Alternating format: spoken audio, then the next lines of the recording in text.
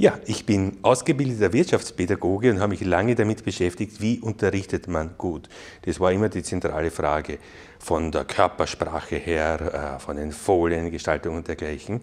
Und bei den Studierenden, und ich verantworte im Jahr über 2000 Studierende an der WU, habe ich immer gefragt, wie erreiche ich, dass die gut lernen, dass die gute Prüfungen schreiben.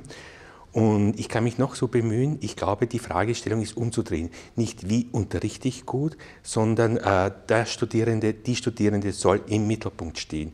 Das heißt, welche Aktivitäten sollte ich machen, damit die Studierenden lernen? Das ist die Grundfrage meines Lehrkonzepts.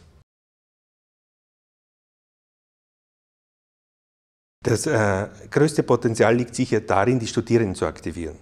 Und das ist die Grundaussage. Wenn sich die Studierenden aktiv mit den Lehrinhalten auseinandersetzen, dann werden sie Wissen aneignen und das heißt aber auch gute Prüfungen schreiben.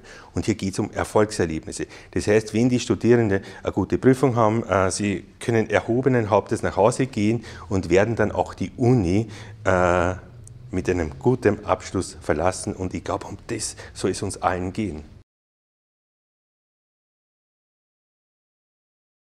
Das ist eine sehr interessante Frage, warum eine Belohnung notwendig ist. Ich würde sagen, per se eine Belohnung ist schlecht. Sie verdrängt Motivation. Das sehen wir an Schulen, das sehen wir an Universitäten und das sehen wir leider auch in Unternehmen.